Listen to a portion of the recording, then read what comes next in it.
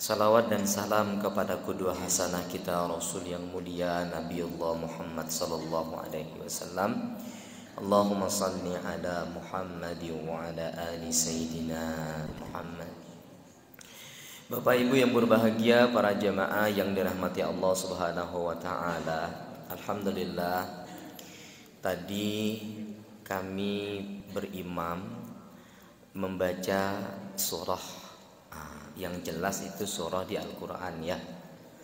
Ada yang tahu tak tadi surat apa? Ibu-ibu ada yang tahu tak kira-kira nih ustadz nih baca surat apa itu ya? Ada yang tahu tak tadi? Alhamdulillah banyak yang tidak tahu tidak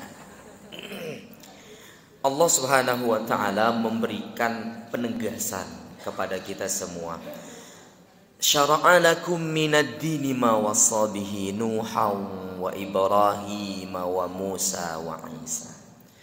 Bersyukur kita kepada Allah Subhanahu wa taala.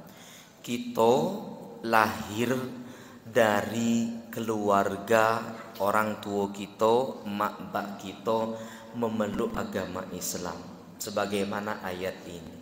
Surah Asy-Syura, surat yang ke-42 disyariatkan kepada kalian, dipilihkan kepada kalian agama. Satu agama yang sudah diwariskan turun temurun mulai dari Nuh wa Ibrahim wa Musa wa Isa. Agama yang dulu sudah dianut oleh siapa? Nabi Nuh, Nabi Musa, Nabi Ibrahim, Nabi Isa. Dari ayat inilah kita kenal surah, kita kenal Nabi Ulul Azmi. Nah, kan kita dulu waktu SD ya sebutkanlah nabi-nabi ulul azmi ya, nabi-nabi yang paling agung gitu ya. Ayat itu ceritanya. Surah Asy-Syura ayat ke 13. Jadi bersyukur kita hari ini bahwa kita ini mendapatkan satu agama agama samawi, agama yang langsung dari langit.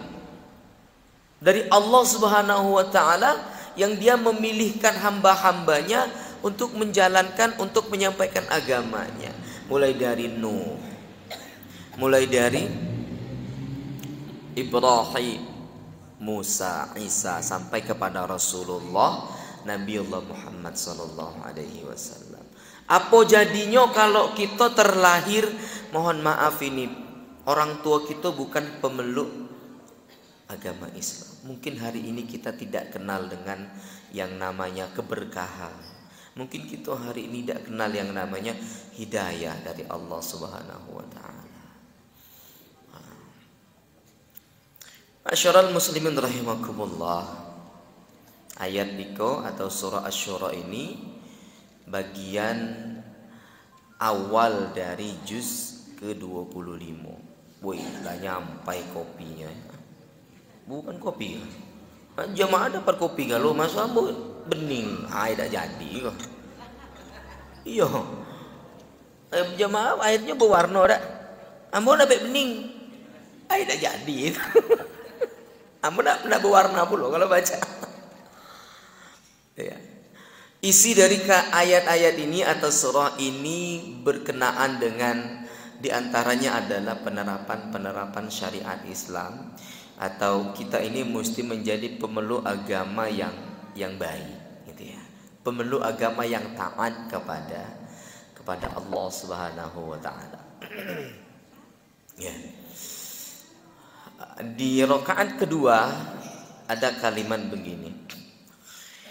من كان يريد حرث الآخرة نزد له في حرسه ومن كان يريد حرث الدنيا نؤته منها. وما له في الآخرة من نصيب. Mana jawabannya tidak ada? Jawablah kalau ada yang ngaji itu ibu-ibu bapak-bapak jawab Allah. Nah, itu ya boleh ya. Ulang ya, ulang ya. Nah. Wa ma lahu fil akhirati min nasib. Nah, itu mencirikan kita takjub. Takzim mengagungkan ayat-ayat Allah. Daripada kita diam-diam baik, atau main game. Oh, main game. Di ayat yang kami bacakan tadi, seorang muslim yang baik, seorang muslim yang taat, dia mesti punya visi besar. Ya. Visi yang jauh lebih ke depan. Ya, apa visinya?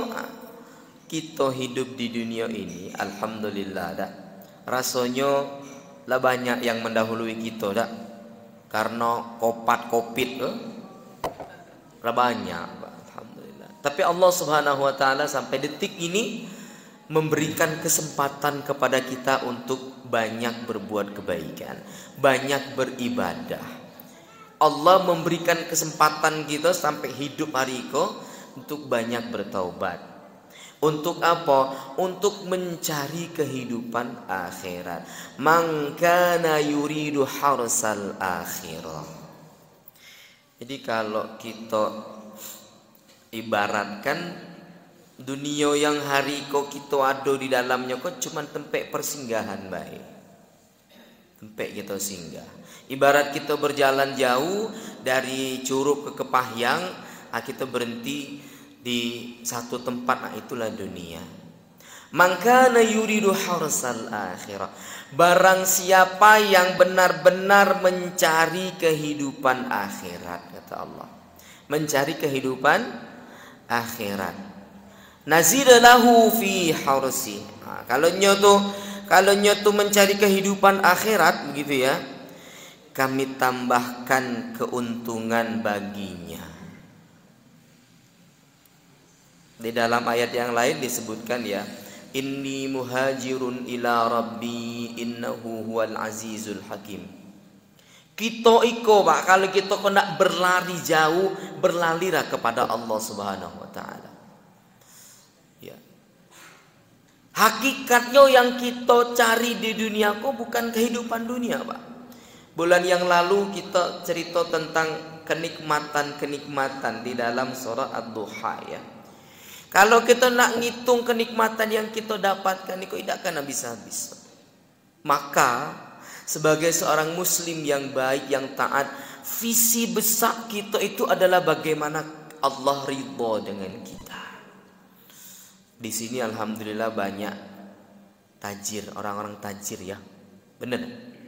Tajir itu apa, Pak? Tajir itu bukan kaya, bukan. Pedagang Pedagang tajir itu. Ya. Kan ada dalam Quran itu ya. Tijaratan lan tabur. Pedagang yang tidak rugi. Tapi orang Indonesia kok ngomongnya tajir itu banyak piti. Padahal tajir itu pedagang, Pak. Ngapa disebutkan pedagang? Ada ayatnya. Hal adullukum ala tijarah. Makanya kalau akad jual beli itu ada akad ijarah ada akad murobaha ada akad bai'a as-salam. Bai'a al-istisna. Jual beli pak. Iman kita kita beriman kepada Allah beriman kepada hari akhir kita ngerjakan sholat iko. Banyak nian ayat-ayat di Quran itu Allah mengumpamakannya dengan apa? Jual beli pak. Jual beli tijarah. Tunjikum min azabin alim. Apa tu'minuna billahi wa rasulihi wa tujahiduna fi sabilillah. Eh, kita kok bertransaksi kepada Allah dan betul Allah itu menghitung amal ibadah kita dengan qardun hasan. Qardun hasan itu akad dalam perbankan syariah. Ya, qardun itu pinjaman, pinjaman. Kalau ada pinjaman, ibu ngasih pinjam duit dekat tetangga sejuta. Kata ibu, bu, kami kau kan bisnis ibu minjam sejuta kelak balikannya sejuta seratus yo. Nah yang seratus itu lah riba tuh. Yang sejutanya balikkan awak pinjam. Balikkan sejutanya. Ada kini banyak ada orang yang dia punya hutang mohon maaf ya di perbankan konvensional. Punya hutangnya udah nak bayar lagi. Keceknya wazaruma bakia minar riba. Lah hutangnya lunasi. Ribanya ajukan penghapusan bunga. Alhamdulillah dalam bulan Januari saya lulus ujian sertifikasi menjadi Dewan Pengawas Syariah Perbankan dan Koperasi-Koperasi Syariah. Langsung di bawah Dewan Syariah Nasional MUI. Yang ikut sertifikasi se-Indonesia ada ada tidak salah tuh 48. Yang lulus murni 7 bele Pak, termasuk saya. 17. Berarti banyak tidak lulus. Yang tidak lulus iko kecek panitia tuh insya Allah dapat syafaat katanya. Wah dapat syafaat. Dapat pengampunan berarti dia dapat pertolongan. Ya, utangnya tutup bayar. Namanya utang itu sampai kapan pun ya lunasi. Adapun maaf ini maaf mungkin kita tidak tahu dulu ada riba itu dah tidak tahu dulu. Nah yang riba itu ajukan 0% pembayaran bunga. Selesai. Kami punya uh, di Tangerang itu uh, owner owner travel umroh. Dia cerita dengan kami Ustaz cak mano saya Ustaz ngapa bu ya saya lah banyak ngikut kajian-kajian tentang riba saya kok pelaku riba terus cak mano bu berapa hutang ibu di bank itu 1,5 miliar Ustaz Berapa bungonya bu? Sebulan itu bungonya katanya sisa bungo yang mesti saya bayar ke Ustaz ada 500 juta Ustaz. Wah. Camano Ustaz, kami kok nak nak berhijrah ke yang halal. Cai kowe bu. Ibu akui hutang yang ada tapi bungonya ibu ajukan pelunasan atau ajukan pembayaran bunga 0% atau penghapusan bunga. 6 bulannya berproses itu ajukan surat penghapusan, ajukan lagi ditolak, ajukan lagi ditolak, ajukan lagi, akhirnya disetujui. Setelah enam bulan ibu tuh ketemu saya, Ustadz Alhamdulillah, bungo utang saya tidak ada lagi. Jadi sekarang ibu, nah aku mencicil hut, pokok hutangnya baik. Nah, gitu Alhamdulillah kan, berhasil kan. Memang tidak mesti harus Ula, nak mesti harus sungguh-sungguh. Nah yang salah tuh apa? Lari dari hutang. Nah, itu yang salah, tidak boleh ya. Awak mesti awak melakukan itu bertanggung jawab dengan apa yang sudah kita lakukan. Nah, itu agak jauh melenceng dikit itu. Nah, balik tadi ke surah Asy-Syura.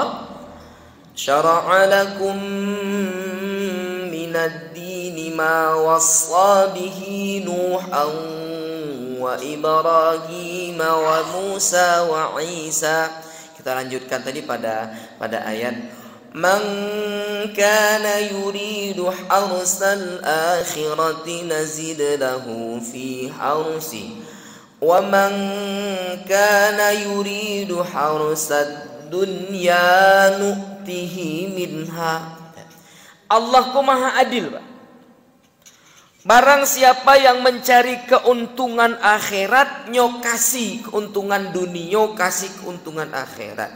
Tapi sebaliknya, kalau kita kok nak mencari keuntungan dunia baik, dikasih nian pak. Itulah karakter maaf ini orang-orang yang di luar agama Islam. Kan kita kok kan sering nian menggerutu. Ustadz tetangga saya itu Ustadz agamanya lain, tidak sholat, ya jelas lah agama lain. Tapi ngapor rezekinya tuh lancar nian. Aiko ayatnya. Tengoklah pak, di luar tuh kita lah nanggung-nanggung usaha usaha ulan ibadah ditambah terus banyak. Ngapor rezekinya ke dana mana itu kece kita bu. Ya bahkan mungkin ada ada kita ibadah kok terus tapi usaha hampir bangkrut. Nah aduh tuh pak. Ya.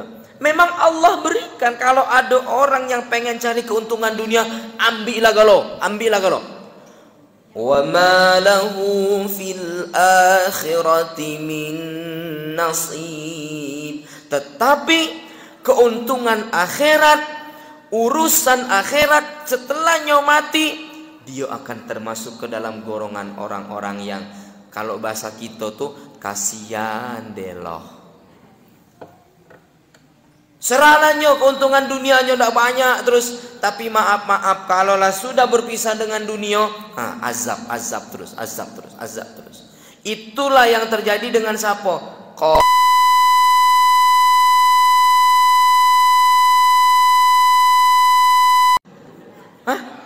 Suami ibu ya bu? Bukan. Korun itu sapo pak? Korun itu masih familinya Nabi Musa pak. Kalau saya baca di Kisah lil Anbiya, cerita para nabi, kitabnya Imam Ibnu Kasir, sepupunya dekat Musa tuh. Korun itu sepupu. Kalau sepupu tuh tidak dua beradik bak, dua beradik mak kan? Satu nenek. Suatu saat Nabi Musa datang kepada Korun. Ya Nabi Musa, kecek Korun, woi doakan ambo kau biar banyak harta. Ya doakan kan Nabi Musa. Ya namanya doa Nabi terkabul. Mulailah banyak harta korun, nah banyak, banyak. Hotel Mutiara lah milik korun pulau. Hotel Shakila lah punya korun pulau. Contoh kok contoh bu. Yo, ya, Bang A, Bang C, Bang C sampai Bang Mego lah milik korun pulau. Suatu saat korun, ya datanglah Harun. Diutus oleh Nabi Musa untuk ngambil ya khuzmin amwalihim kata Nabi Musa sedekah. Sedekah itu kalau di Quran itu kalimatnya sedekah tapi belakangnya ngapo polo disebutin wajib. Berarti sedekah itu wajib sebenarnya. Nah yang pakai ukuran itu bukan sedekah zakat apa bedanya sedekah ke zakat Ustaz Yalah kalau sedekah ibu itu serah enggak 10 ribu, 50 ribu, 30 ribu. Tapi kalau zakat ada ukuran. Nah itu bedanya zakat ke sedekah. Ibu bayar sedekah, "Woi, aku sudah zakat. Itu yang aku bayar kemarin." Ya sedekah, beda, Bu. Sedekah, sedekah, zakat, zakat itu ya. Apa kata Korun? Lah. Hadza mali mali mali iko hartaku hartaku hartaku. Tidak ada aku nak bayar zakat, bayar sedekah kayak Nabi Musa. Nah kau.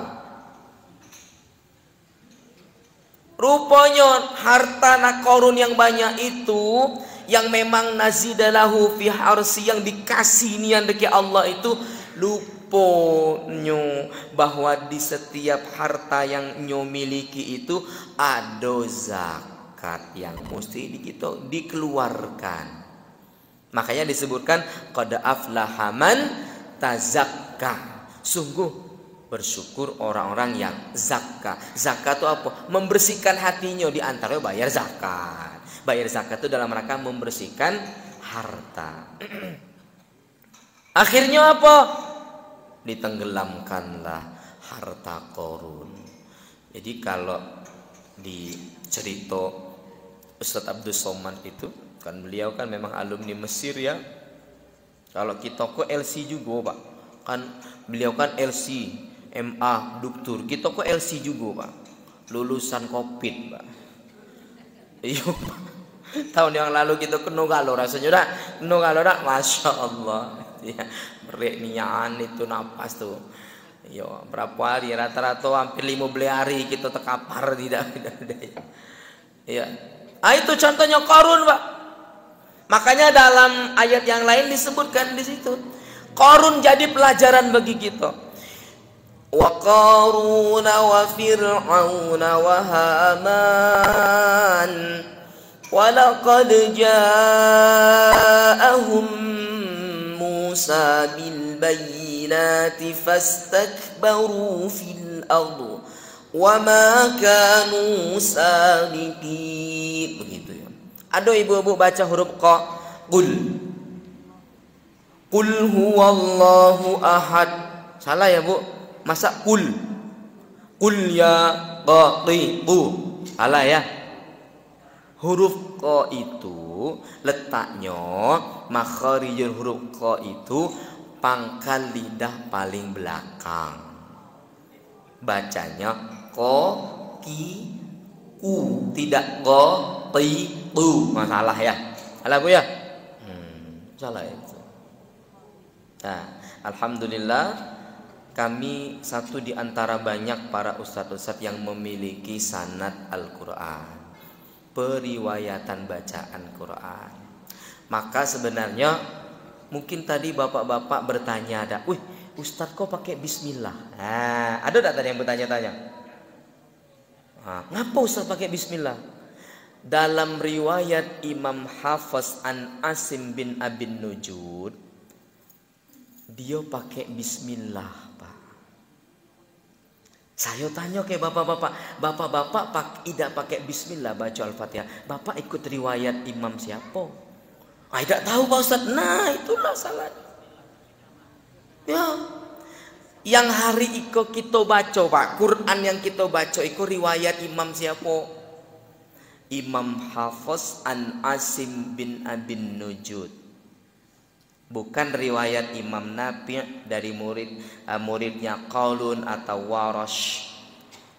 Ah. Selama kita baca baca Al-Fatihah cak tadi tu Bismillahnya tu dibaca ke Imam Hafiz Pak. Nah, itu makanya saya pakai bismillah. Ngapa? Sanat Quran saya sampai ke beliau ada bismillah.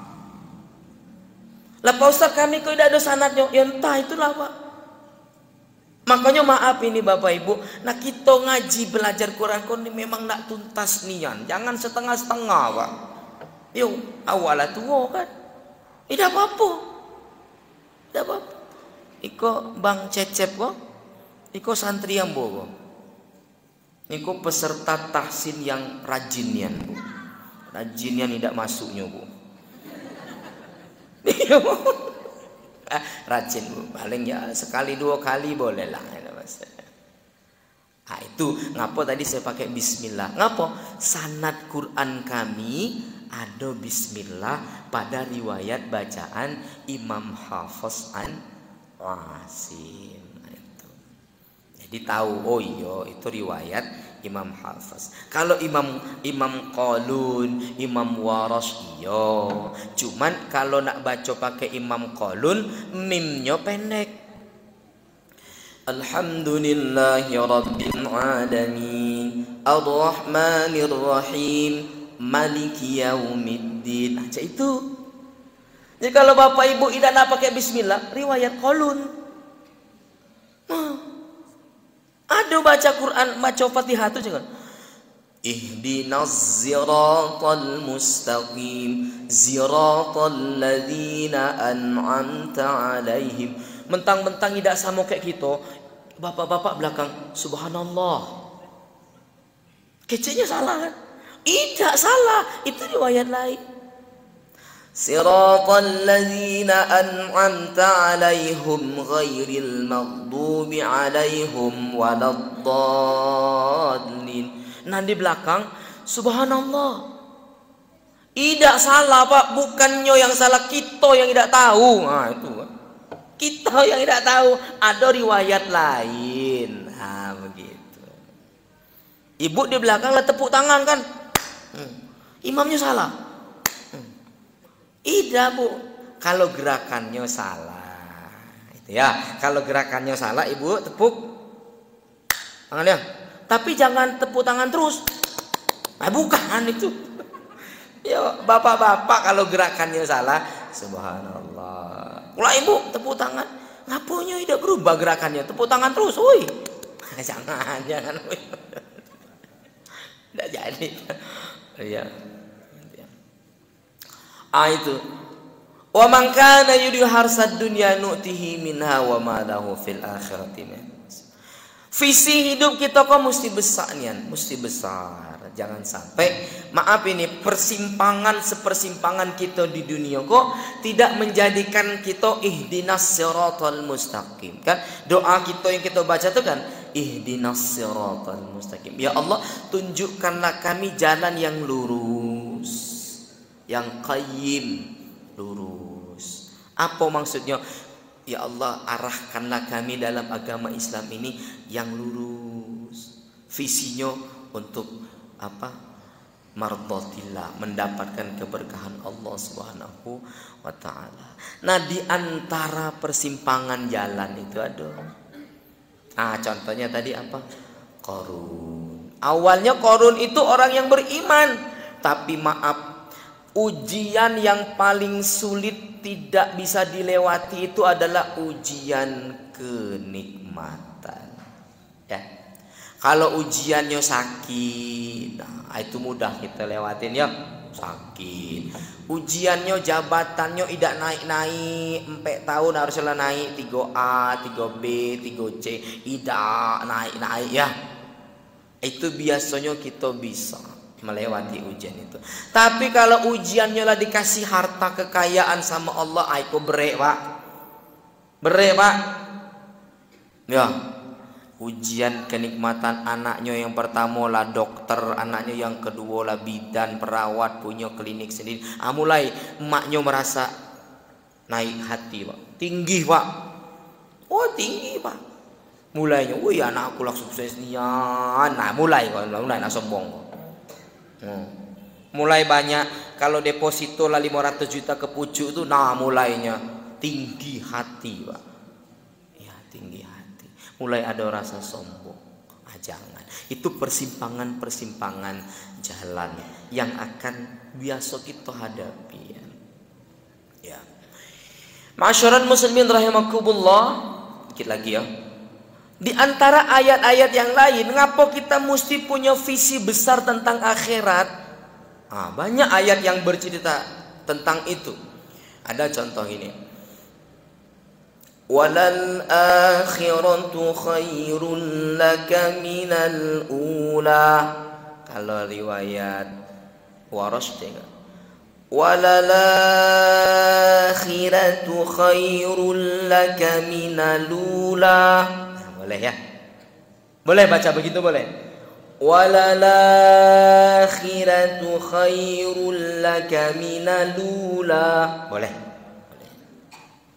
boleh ya, asal kita tahu. Oh, tidak tahu jangan. Yo, jangan. Oh, tidak tahu ibu baca-baca saya itu, tidak tahu ilmunya jangan, jangan, jangan. jangan. Ah. Gitu ya. Jadi baca Quran itu ada 10 macam. Sesuai dengan riwayat imamnya. Allah menyebutkan kenapa kita mesti punya visi besar. Walal akhiratu khairul laka minal ula. Dan kehidupan akhirat itulah yang lebih utama bagimu ketimbang kehidupan dunia. Ya dunia sebentar akhirat selamanya. Ya. Atau di ayat yang lain ada Allah sebutkan kalau yang tadi tahu lah ya surat apa itu? Surat apa, Bu? Pak. Walal akhiratu khairul laka minal ula wala sawfa yu'tika rabbuka fatardha Ad-duha. Ad-duha. Ad-duha ya. Ada lagi.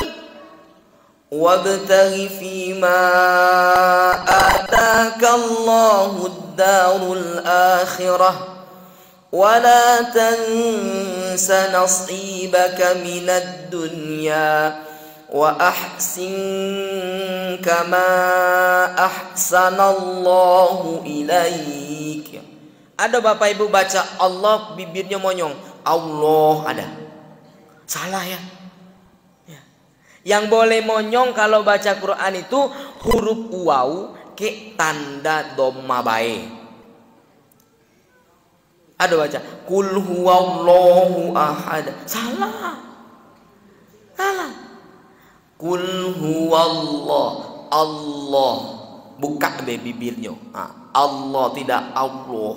salah ya. Biasanya itu orang-orang dari Jawa Barat ya. Allah. Ha, biasanya ya. Orang-orang dari Jawa Barat yang orang-orang Sunda jeng aing mah ya orang Sunda itu yang biasa suka Allah, Allah salah secara ilmu tajwid. Allah menyebutkan di dalam surah Al-Qasas ya, ada tuh. Wabtaghi fima atakallahu darul akhir dan carilah bekal olehmu yang banyak untuk apa? Untuk perkampungan akhirat. Bukan perkampungan talang rimbo. Bukan. Tapi kita kok nak balik ke apa al qaryah al akhirah kampung akhirat. Makanya visi hidup kita kok mesti jauh ke depan, harus ke akhirat ya Allah. Jangan sampai anakku, apa cucuku, istriku dan yang lain-lainnya itu tidak bersama-sama di akhirat. Tidak berkumpul lagi. Hendaknya kan kita kalau ngumpul di dunia, ngumpul juga di akhirat. Tentu saja ngumpulnya masuk surga. Ma'asyiral muslimin rahimakumullah inilah beberapa hal yang mesti kita perbaiki lagi. Tidak apa-apa ibu-ibu, bapak-bapak lah usia lah tua lah ya. Tua lah adalah 50, 60. Makanya kan kita di sholat tuh kan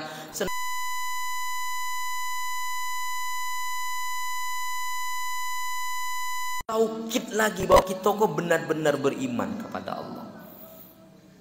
Wa asyhadu anna Muhammad Rasulullah. Benar-benar Makanya iman itu yazidu wa yangkus.